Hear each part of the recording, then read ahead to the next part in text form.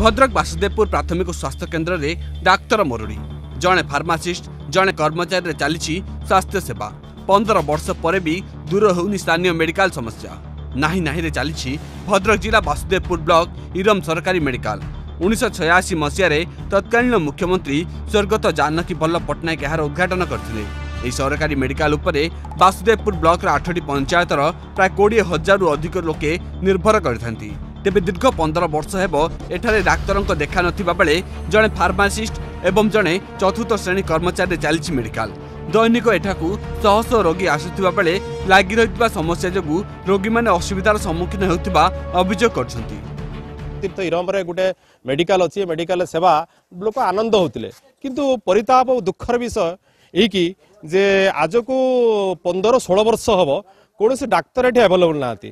ଯଦି ଆମେ କୌଣସି ଗଣମାଧ୍ୟମ ବା କୌଣସି ଲିଖିତ ଆକାରରେ ଉପର ଅଫିସରକୁ ଆମେ ତାହା ଜଣାଇଲେ ସେ ତତ୍କାଳୀନ କ'ଣ କରନ୍ତି ନା ଗୋଟେ ଡକ୍ଟରକୁ ଆମକୁ ଏଠିକି ଆପଏଣ୍ଟମେଣ୍ଟ ଦେଇ ଦିଅନ୍ତି ତାପରେ କିଛି ଦିନ ମାସେ ଦୁଇ ମାସ ଦେଖିଲା ପରେ ସେ ଡକ୍ଟର ନଥିବେ ସେ କ୍ୱାର୍ଟର ଫାଙ୍କା ଆଉ କୌଣସି ପେସେଣ୍ଟ ଆସୁଥିବେ ସେଇ ଡକ୍ଟର ଭରସାରେ ଆସୁଥିବେ ଅଯଥାର ପଇସା ଖର୍ଚ୍ଚ କରି ଆସୁଥିବେ ପୁଣି ନିଜେ ଫେରିଯାଇ ଭଦ୍ରକ ବାଲେଶ୍ୱର ସୋର ଇତ୍ୟାଦି ଇତ୍ୟାଦି ମେଡିକାଲରେ ସେମାନେ ଦେଖାନ୍ତି ଉପରବେଳା ପାଞ୍ଚଟା ପରେ ଏଠି ପୁରା ଶୂନଶାନ ଆଉ ତେଣୁ ଉଁ, ସାମାନ୍ୟ ଯାହା କିଛି ହେଲେ ବି ଦୈବ ଦୁର୍ଘଟଣା ଏଠି ବାସୁଦେବପୁରକୁ ଯିବାକୁ ହୁଏ ଏଠି ବାସୁଦେବପୁରକୁ ଯିବା ପାଇଁ ମଧ୍ୟ ସେମିତି ସୁବିଧା ନାହିଁ।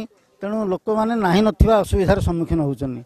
ତେଣୁ ସରକାରଙ୍କୁ ଏ ବାବଦରେ ଗ୍ରାମବାସୀ ବା ଏ ଅଞ୍ଚଳବାସୀଙ୍କ ତରଫରୁ ବାରମ୍ବାର ଅନୁରୋଧ କରିବା ସତ୍ତ୍ୱେ ବି ଏପର୍ଯ୍ୟନ୍ତ ଜଣେ ଡାକ୍ତର ଏଠିକି ଦେଉନାହାନ୍ତି।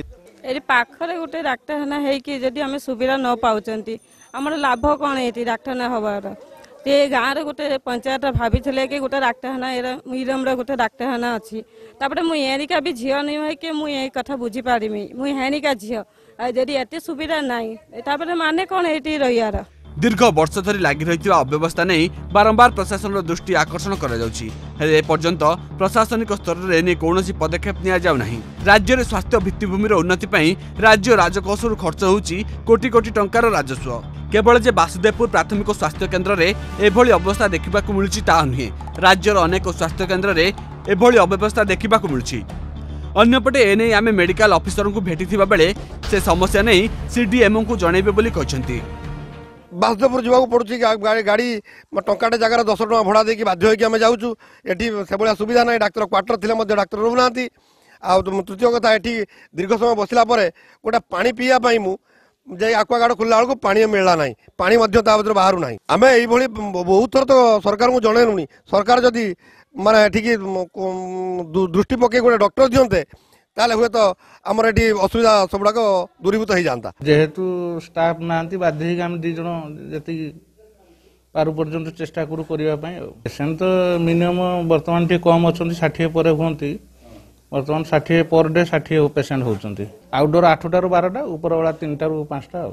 ଏ ବିଷୟରେ ମୁଁ ସିଡିଏମ୍ ସାର୍ଙ୍କର ଦୃଷ୍ଟି ଆକର୍ଷଣ କରିବି। ଆଉ ଯାହା ହେବ ଜିଲ୍ଲା ସ୍ତରରେ ଯଦି କିଛି କେହି ପୋଷ୍ଟିଂ ପାଇଲେ ତ ସାର୍ଙ୍କୁ କହିବି ଏଠି କାହାକୁ ପୋଷ୍ଟିଂ ଦେବା ପାଇଁ। ତେବେ ଦୀର୍ଘ ବର୍ଷ ଧରି ବାସୁଦେବପୁର ମେଡିକାଲରେ ଲାଗି ରହିଥିବା ସମସ୍ୟା କେବେ ଦୂର ହେଉଛି ତାହା ଦେଖିବାକୁ ବାକି ରହିଲା। ଭଦ୍ରକ ବାସୁଦେବପୁରରୁ ପ୍ରଶାନ୍ତ କୁମାର ଦାସଙ୍କ ରିପୋର୍ଟ ଅର୍ଗସ୍ ନ୍ୟୁଜ୍।